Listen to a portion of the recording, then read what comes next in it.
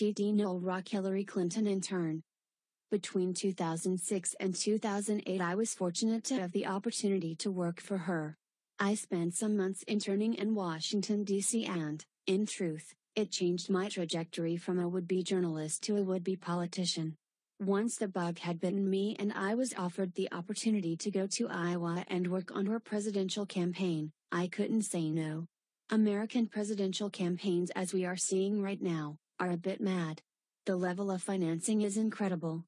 In my own case, Iowa, as the first state in the country to select the nominee of both Democrats and Republicans, sees a lot of focus. This meant many staff, a lot of media attention, and a rake of celebrities. This is something we don't see much in Ireland, but, for example, Scarlett Johansson, Ted Danson, and Ron Howard were among many people who worked with me in the small town of Ames, which only had a population of around 50,000.